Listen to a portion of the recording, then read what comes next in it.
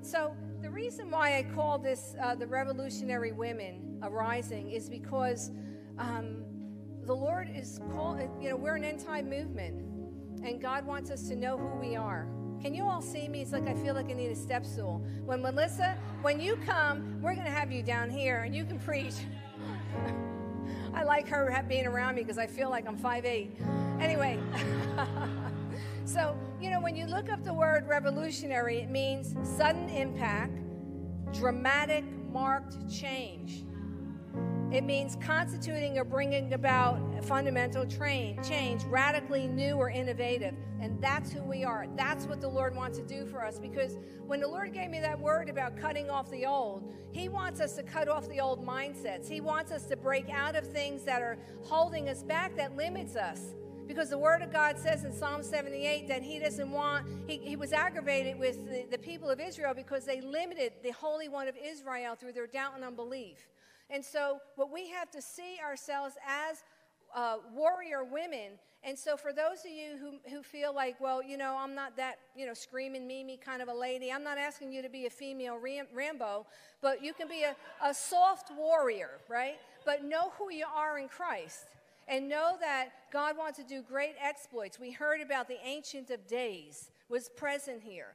And so the books are open, and he's reading the books about what he has for each and every one of us here. And it's not to stay in a mindset of defeat or worthlessness or, or low self-esteem or you know i'm just i'm just never going to amount to anything those days are over and so uh, the, some of the um, uh, synonyms that i was looking up and i was thinking about was women we are fierce we are determined we are fearless we are bold we're courageous we're passionate and we're worthy and we're capable. Jesus was a, a, passionate warrior. We have his DNA in us. He was a reformer. We're called to reform. We're called to make social changes in our area, in our sphere, in our neighborhoods, in our family. Why not?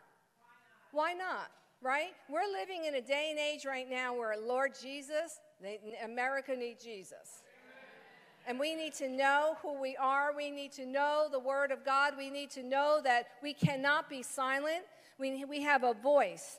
But I mean, to speak in respect, uh, and when, when I say revolutionary women, I'm not talking about men against women. We honor and respect each other, okay? So let's just get that clear. And so we have a, a force within us, and we are an end time movement. That's one of the words that, I mean, Chuck Pierce wrote in his book, and I, I wrote um, a quote that he wrote in one of his books. It says that the enemy will oppress and attempt to stop women from becoming all that God has created them to be. And if he is able, Satan will enslave us to accomplish his will on the earth.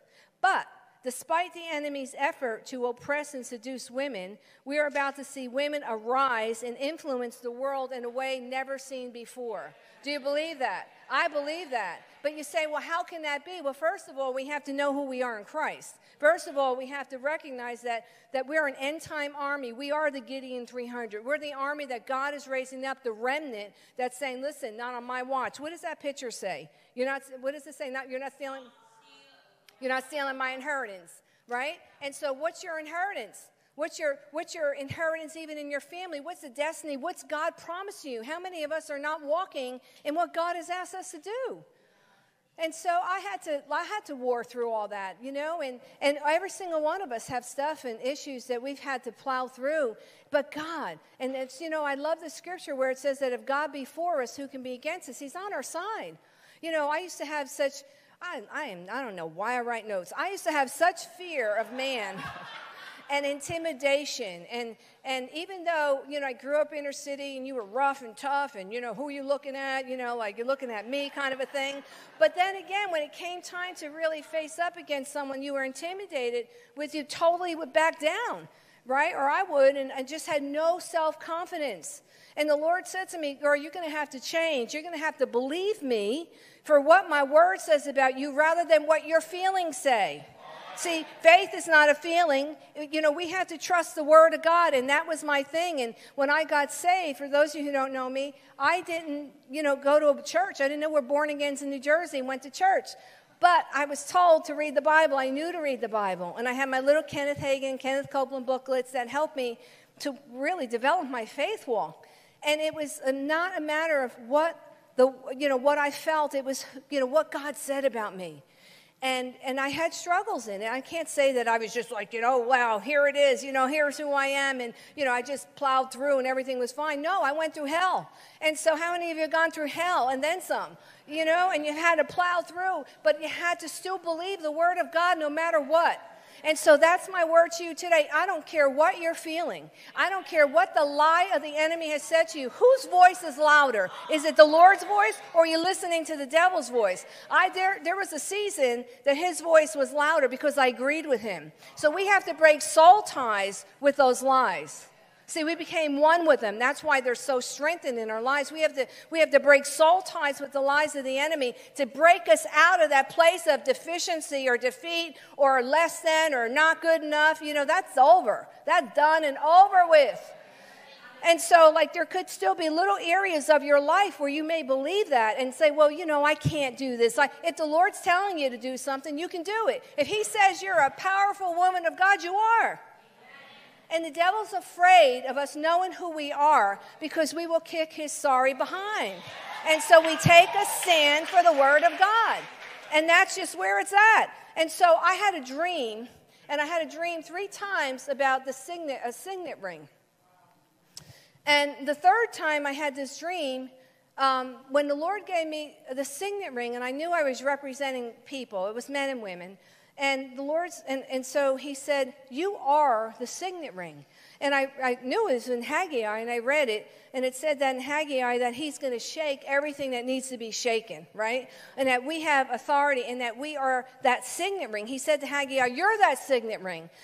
Well, in the dream, I was releasing a word, and when I released that word, whatever I was coming against, it was like an architectural stru- structure I saw, and it literally shattered and fell to the ground. And what the Lord was saying, we are you, myself, each and every one of us, we are his signet rings and we are releasing great authority. We have authority. We're coming into a new level of authority that we are going to shatter strongholds. We're going to release words that are like that. The suddenlies are going to come because God is saying to us, we've been in that wilderness season. I've been teaching on Elisha and before Elisha went to Mount Carmel, he was at Brook Cherith and those of you who heard me on Sunday speak about this, but the Brook Cherith means a cutting away in isolation. It means, you know, breaking covenant. And so we were in this wilderness place for a while, especially with the pandemic. And God broke away for many of us who were seeking Him. He broke us out of the old mindset. He's breaking us out of that wilderness mindset. He's cutting away the dross and that which needs to be cut away for Mount Carmel, for us calling down the fire of God. But as I've said, we have to rebuild that altar. We have to rebuild that altar of intimacy in order to call the fire down.